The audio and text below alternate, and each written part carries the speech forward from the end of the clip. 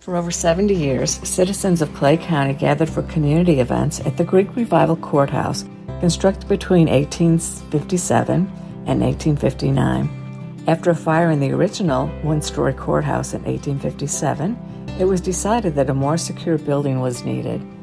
The two story building, costing $41,000, was a unique cloverleaf structure topped with a dome designed by architect Peter Macduff.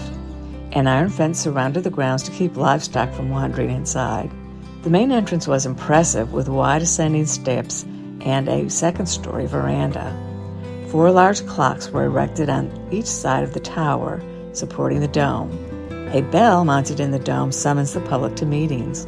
A statue of Justice was mounted on top of the dome. This statue is now on display in the current administrative building on the Liberty Square.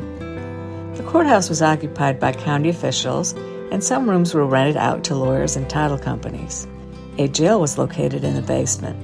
No one was ever successful in escaping through its brick walls. The building was originally supplemented by a brick privy on the north side of the building in 1869.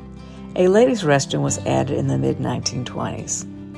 In addition to court activities, the courthouse was used for church services and public events. An annual slave auction was conducted on the northeast corner in January each year until emancipation. Criminals condemned to death were hung on a scaffold built on the courthouse grounds.